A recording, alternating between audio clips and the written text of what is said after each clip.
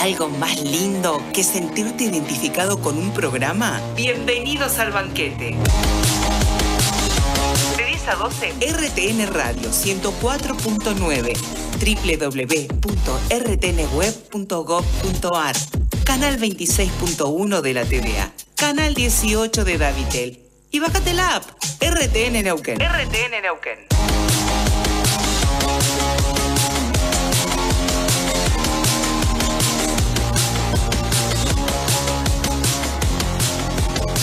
Bienvenidos al banquete.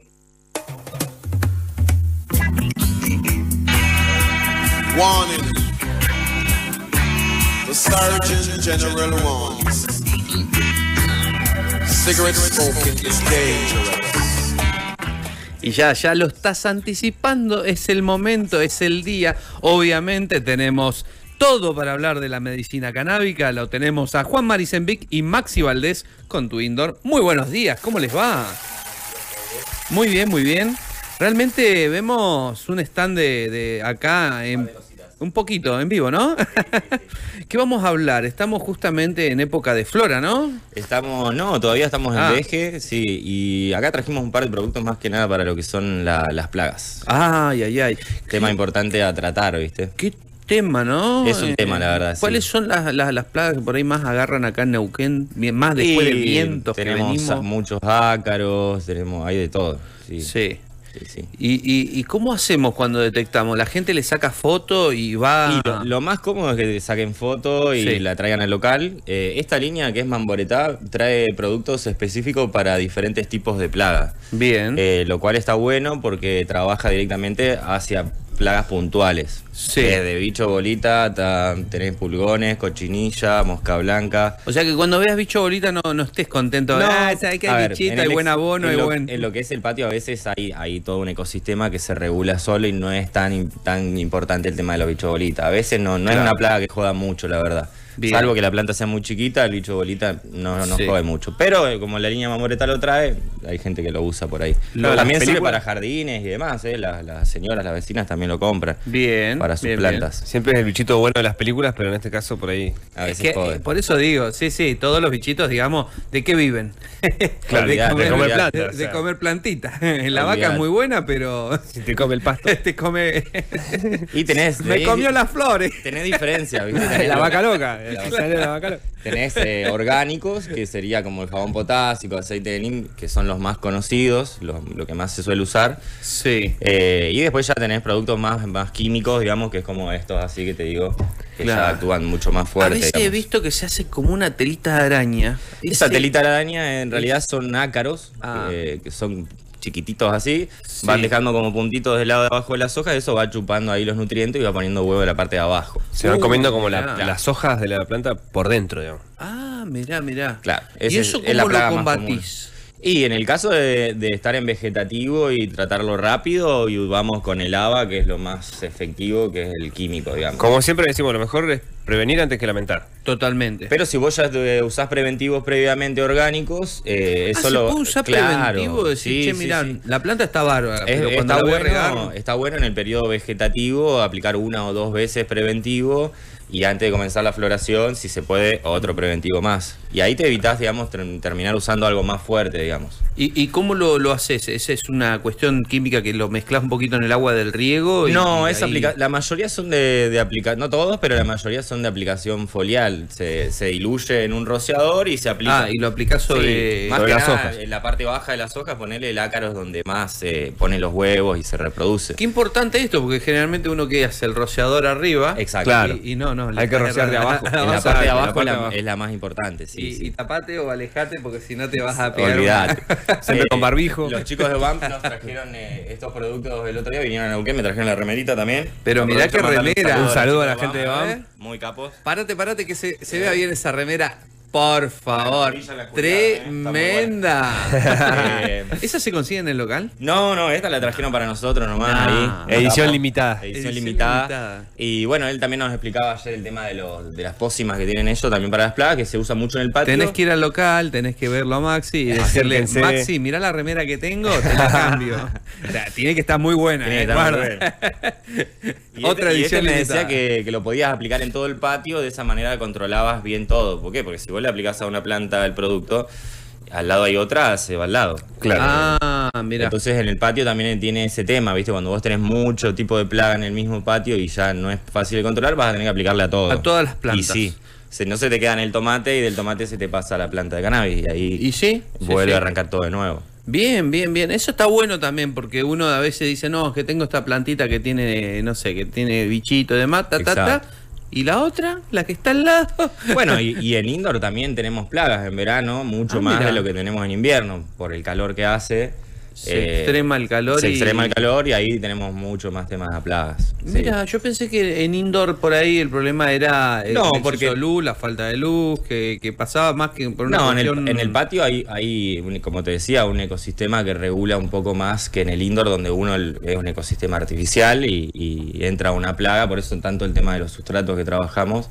Eh, entra un bichito al indoor y hace calor, hay una planta y tiene todo el espacio para reproducirse sin que otro bicho se lo coma, sin Claro, que venga no tiene tormenta. depredadores. Claro. No tiene depredadores, nada. Y está ese bichito que es el gusanito verde, vos decís la. Está el-. Hay oruga. Hay oruga, la mosca oruga. blanca. Bueno, la mosca blanca con este producto para el indoor está muy bueno. No sé si lo ven ahí. Mira.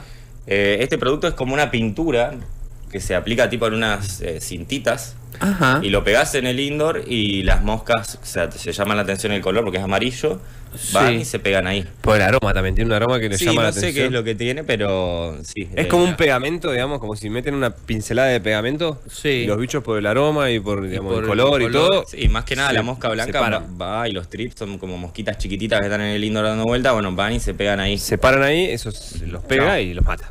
Bien. Está bueno, es una manera pasiva Está- dentro de todo, de- sí. no tan agresiva, digamos, no le, no le tiras nada a la planta. Claro, para, y para indoor, porque en el patio no van a andar pegando. Se acordá los. ¿no? Bueno, Las por ahí mata en- bien muerta, no, no, no. Por ahí en invernadero favor. también te sirve, qué sé yo. La desmaya, no. El Nopol. Olvidate. Qué bien. Qué grande los Lelutier. A lo último la engordaba, la hacía bien. Bueno, y, justamente, eh, ¿qué tenemos que tener en cuenta cuando tenemos nuestra planta que justamente está creciendo, tiene bárbaro, la voy regando, con qué periodicidad la riego y qué tengo que ir observando? Por lo general, digamos, eh, hay productos para cada periodo. Como siempre decimos, en vegetativo aplicamos productos altos en nitrógeno.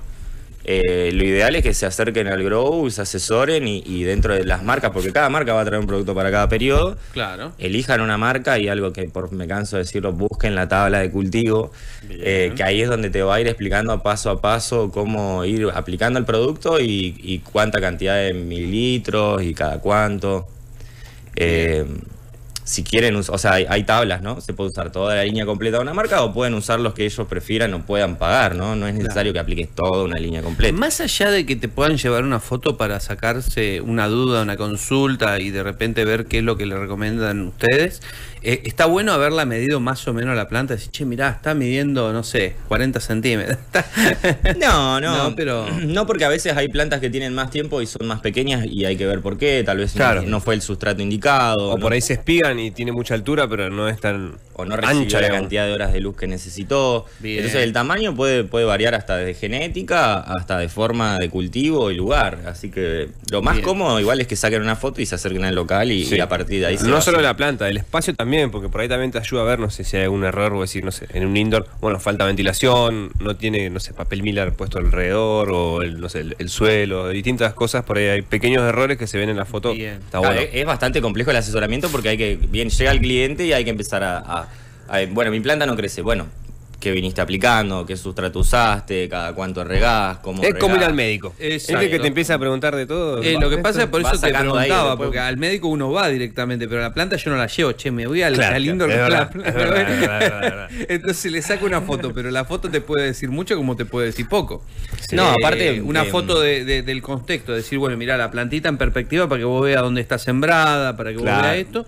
Y si veo que tiene bichito o algo, una foto de Más bien un de primer cerca. plano más. Sí, exacto. sí. Ahí. Eh, mucha gente la- habla de los fertilizantes como si fueran, no sé, anabólicos. En realidad, la mayoría de magia. los. Magia. Quiero la papa, Ya no. no. Eh, es un fertilizante.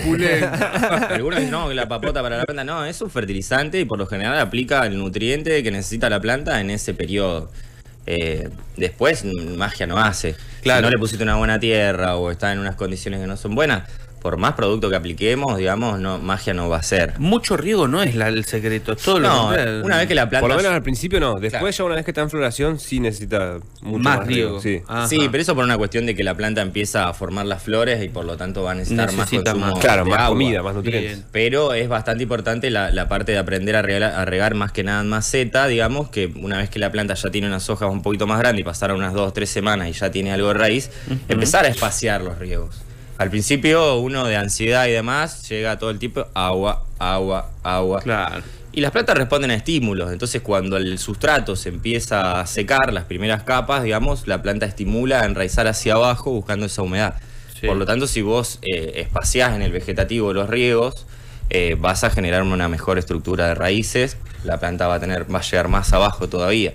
Si vos le estás tirando agua todo el tiempo, la planta queda ahí, total, no tiene que buscar el ¿Para agua voy a hacer tantas raíces si acá agua sobra? Ese es un error muy común y más que nada para los que recién arrancan, en la ansiedad de que crezca, que crezca, le tiran agua todos los días, mantienen muy húmedo el sustrato y eso, bueno, puede traer hongos, puede traer... eh, Bien. eh, más que nada el tema de las raíces. Se pueden pudrir las raíces también. Exactamente. Ah, mira. Todo en exceso hace mal, digamos. Sí, sí, sí. ¿Es es común que cuando está demasiado regada la planta entra como a ponerse más blandita? Y se pone más débil la planta Claro, porque justamente claro. al no al no enraizar buscando esa humedad no tiene la capacidad de absorción de nutrientes que tiene una planta que sí lo hace. Lo ideal, la mejor forma de darte cuenta cuando regar es tantear el peso de la maceta. Una vez que ya la sentís más liviana, volvés a regar. Ah, mira qué buen. Porque no hay un método, ese. porque te- siempre te van a preguntar, ¿cada cuánto la riego? Y mira, no sé la cantidad de raíces que tiene la planta abajo de su maceta. Claro, No sé por cómo la solemos cultiva, decir sé cada dos días. sustrato. Entonces, la mejor forma Vos la es regás y más o menos sentís el peso, con la humedad. Y después a los días, cuando la sentís liviana, volvés a aplicar. Ese para mí es el mejor método de riego. Pero, pero bueno, cada uno, hay gente que le pone el dedo, que siente la- si está seco Sí, ahí está arriba, seco. ya ahí Pero ahí estás teniendo una humedad muy, muy de arriba. muy de arriba ¿viste? y aparte estás dañando las raíces secundarias que hay a los costados también, sin darte cuenta. Mira. Por eso lo del dedo eh, no está tan bueno. No, no, No. no. No, no meta el dedo, por favor. Cuídense con el Claro, sí, sí, es, es algo feo. Malo. por favor, seguimos con la plaga porque no vamos, no vamos. Esto nos van a censurar, nos van a sacar. Yo te jodo con esto, pero digo, esto me hace acordar el Motul 5000 de la Sí, moto. sí. Buenos bueno. envases, los chicos de BAM, mejoraron Sí, los envases. antes Está bueno el aceite de controlador de plagas.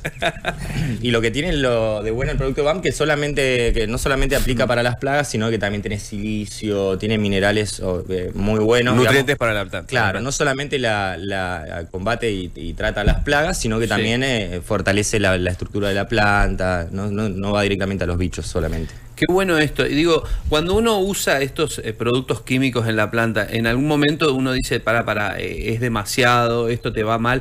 ¿En qué sentido? No digo, pues, te vas a dar cuenta que es demasiado si se te está muriendo la planta. Decir, che, se me está yendo la mano con los químicos. Tenés que aceptar eh, la- la- las indicaciones para ser más preciso. Digo, Como te decía recién, hay algunos que son químicos y otros que son orgánicos. Claro, la siempre- potásico, aceite de NIM son los más orgánicos que hay. Bien. Esos productos hasta la primera semana de flor a veces hay gente que lo utiliza. No es muy recomendado porque a veces interfiere en el sabor, pero es orgánico. eso te iba a preguntar, si interfería, digamos, en, en el Sí, producto claro, final. en digamos. flora- en f- por eso se habla mucho de, de- de preventivos, de, de- Bueno, el silicio es un mineral que a veces es orgánico o no, que endurece la estructura de la planta y eso genera que la, la previene a plagas. El Claro. ácaro, ponele, cuando va hasta la hoja y la planta tuvo silicio, eh, le cuesta mucho más eh, a poner los huevos y, y- y proliferar, digamos. Claro, los silicios y los silicatos Claro. producen, digamos, como unas cadenas.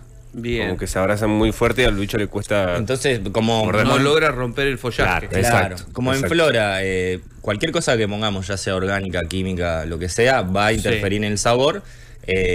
Por eso hablamos mucho del tema de los preventivos. Es el momento Es- ahora de prestarle más atención que es, nunca. Es bastante importante ahora revisar la planta, fijarse que no tenga nada y por las dudas si se puede aplicar un Aplicar un preventivo, claro. Claro. Ahora que viene el calor, porque todavía no nos dimos ni cuenta, pero viene mucho calor este verano. Viene mucho calor para este verano. Eso, eso jode mucho porque a veces digo, he notado hojitas que por ahí, no sé si fueron frío o, o exceso de calor, se ponen negras las puntitas eh, de la hoja.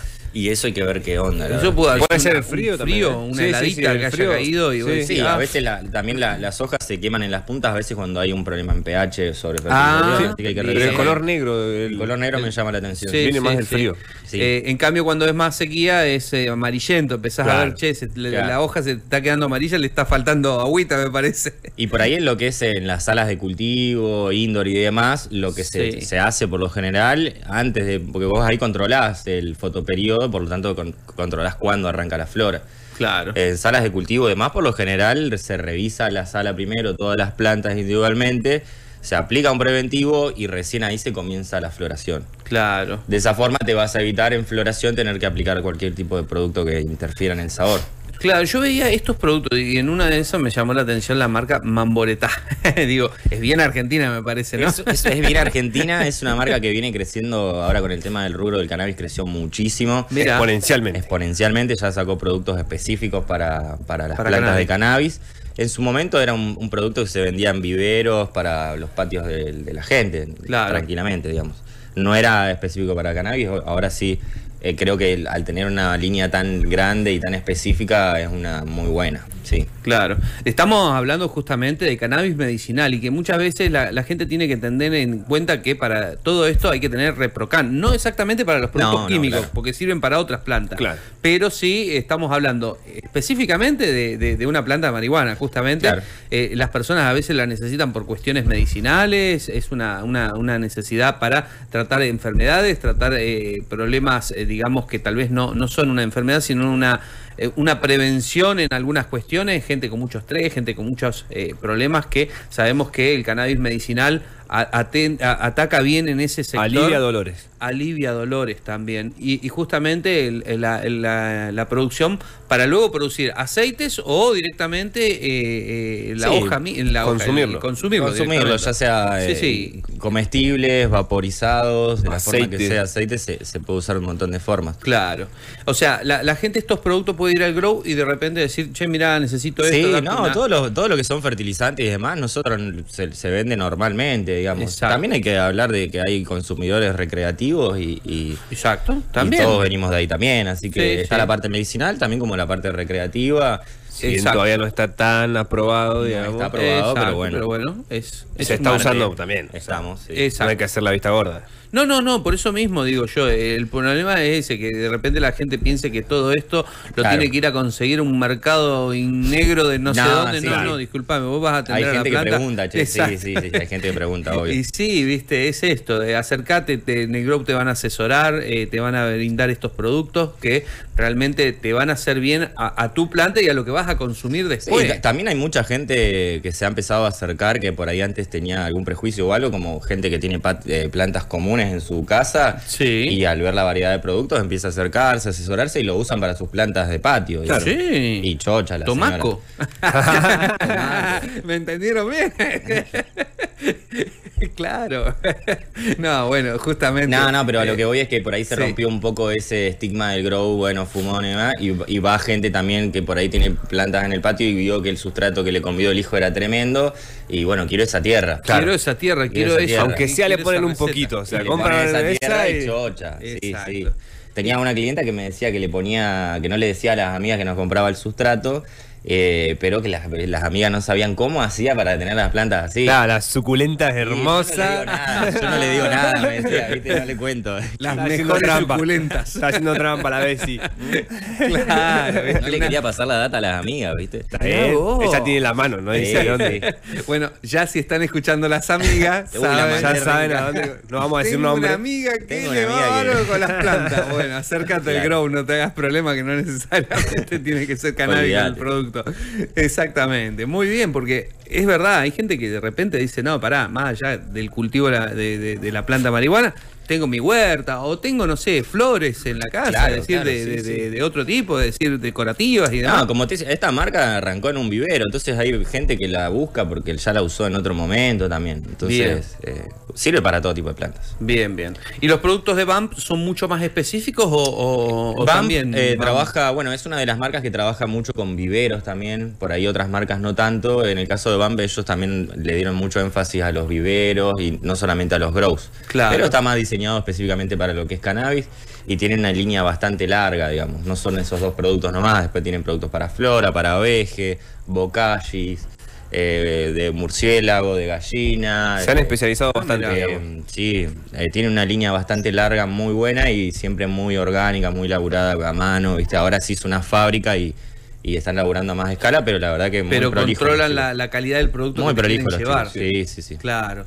Qué bueno, la verdad que me, me encantó tenerlos acá. Bueno, obviamente, fin de semana por medio. No sé si la semana que viene los podemos tener. Sí, sí, Ojo, obvio. obvio. Ah, puede ojo, ser. ojo, eh, puede, Puede ser, ser. eh, puede ser, eh, ¿por qué no? La verdad que bueno, a los chicos del Grow, ¿dónde hay que ir a verlos? ¿Dónde y horarios? Irigoyen 404, Irigoyen y Belgrano, vendría a ser de lunes a viernes de 10 de la mañana a 20 horas y los sábados de 16 a 20. www.twindor.com.ar con doble O. Muy bien, ya ¿Qué tienen tal? página web. Sí, tenemos hace rato. Ah, yo pensé que tenía nada más que el Instagram, nada No, más lo no, tenía por ahí. Instagram. WhatsApp, página web, tenemos todo. Tu indoor. Muy bien. Ahí encontrás a los muchachos, o si no, te acercas ahí, Irigoyen 404. Correcto. Muy bien. Nos estamos viendo, muchachos. ¿Será entonces para la próxima entrega? Vamos a ver con qué. Dale. Muy bien, nos vamos con la música, nos vamos con Flores. Las flores, la flor, la flor.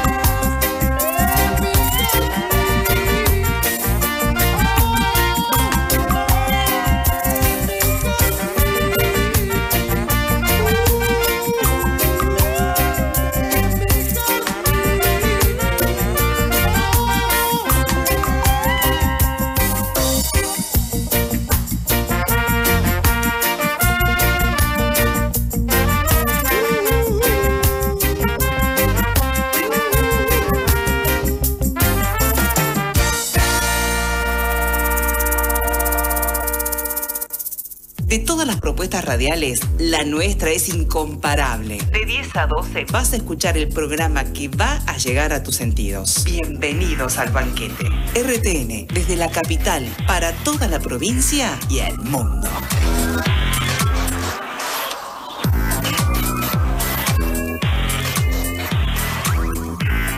Bienvenidos al banquete.